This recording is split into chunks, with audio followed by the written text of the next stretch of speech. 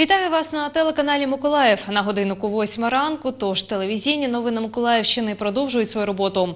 В для вас сьогодні працює Євгенія Голубова і до новин. Сніг та хуртовина на Миколаївщину знову насувається негода. Сьогодні, 23 лютого, очікується суттєве погіршення погодних умов. На дорогах утворяться перемети та ожеледиться. Про це повідомляють в українському гідроміцентрі. Найближчі три доби на території Миколаївської області температура повітря коливатиметься від мінус 7 до плюс 3 градусів за Цельсієм. Можливі опади у вигляді снігу. Пориви вітру сягатимуть 14 метрів на секунду. У зв'язку з ускладненням погодних умов служба автомобільних доріг у Миколаївській області закликає водіїв утриматися від дальніх подорожей та перевіряти перед виїздом технічний стан автомобілів. Під час панування негоди можливі введення обмежень у русі для забезпечення оперативної роботи снігоприбиральної техніки на автодорогах загального користування.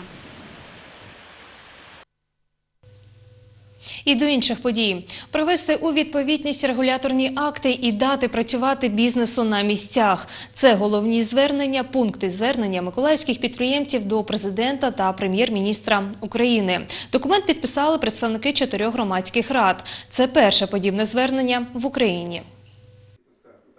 Підприємці просять лише одного, аби органи влади на місцях не перешкоджали їм розвивати свій бізнес, щоб реформування регуляторної сфери розпочалось і в регіонах. Бизнес в регионах не ощущает конкретных изменений.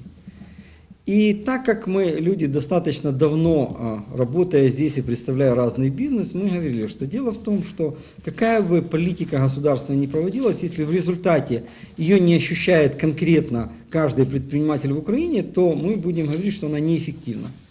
Для цього, за словами самих бізнесменів, потрібен постійний діалог між владою та підприємцями. На сьогодні реформування в регуляторній сфері це копітка робота зі зміни тисяч регуляторних актів, яку державні органи влади фактично не виконують. Считаю, что как раз э, министерства должны показывать бизнесу четкий пример исполнения законов, потому что от бизнеса требовать, что вы же будьте законопослушны, все делайте как нужно, все готовы. Сами при этом не готовы выполнять даже свои полномочия.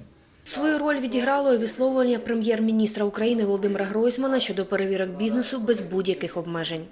Это классический пример э, ведомственного лоббизма, то есть когда служба, которая в показателе работы которой является как бы, борьба с, с безработицей, ну как будем бороться? Ну вот будем проверять. То создайте условия, чтобы больше Вместо создавалось бизнеса, о чем мы говорим.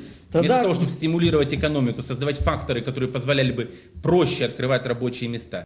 Звернення підписали. Його буде надіслано на адміністрацію президента України та Кабінету міністрів. Олена Міщенко, Артем Білібов, телевізійні новини Миколаївщини. Допоможемо подолати хворобу всі разом. Миколаївські діячі культури організували благодійний концерт зі збору коштів на лікування заслуженого журналіста України Олександра Тупчія. Чоловік страждає від важкого онкологічного захворювання. До заходу долучилось понад 160 артистів різного віку. Серед них були як досвідчені метри, так і молоді початківці.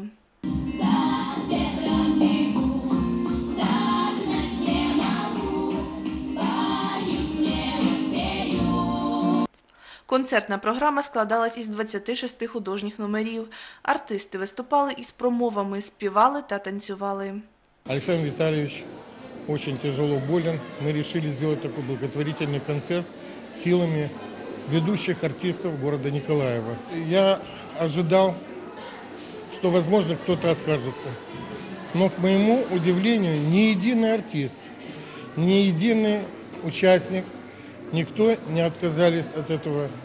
Мне пришлось э, просить многих, поскольку э, это на общественных началах все. Дай Боже радості, світлої радості кожному серцю і кожному дому. Підтримали Олександра Віталійовича і члени ініціативної групи літературного проєкту «Обдаровані мудрістю». Останні дві частини цієї книжкової серії створили саме завдяки співпраці із заслуженим журналістом. Тож кошти з продажу видань вирішили передати на його лікування. Литературным редактором э, у нас был Топчий, очень активный человек. Плюс он к этой книге о Зебике, вот последняя, да, э, он скомпоновал один фильм из трех фильмов, которые он заснял в свое время, м, встречаясь с Зевиком. За результатами благодійного концерту активістам вдалося зібрати понад 14 тисяч гривень. Усі виручені кошти передадуть Олександру Топчію, який вже розпочав лікування в Києві. Вікторія Чернявська, Юрій Руденко, телевізійні новини Миколаївщини. На цьому завершуємо. Зустрінемось за півгодини. Залишайтесь з нами.